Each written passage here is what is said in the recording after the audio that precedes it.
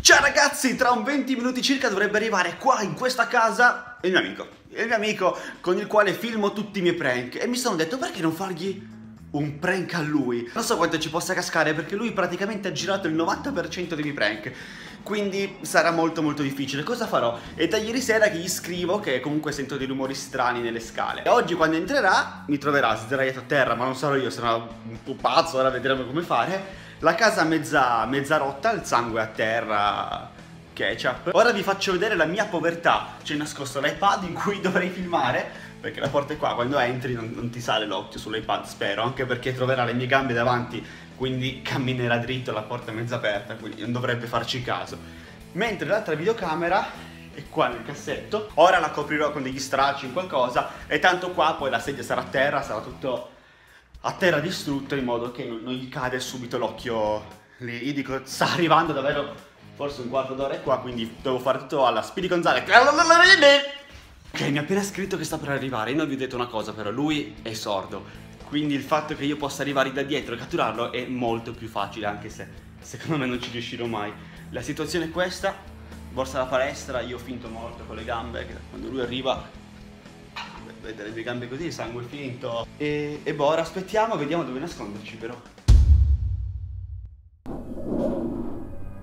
Ehi, metti a forza le piedine per fare...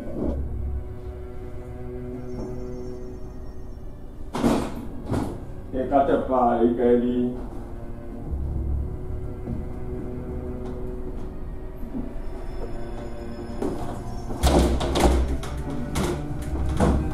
Aia, mi stai facendo male! Oh! Aia! Ah, ma sei... Ah, ma sei scemo! Ah, mi fatto...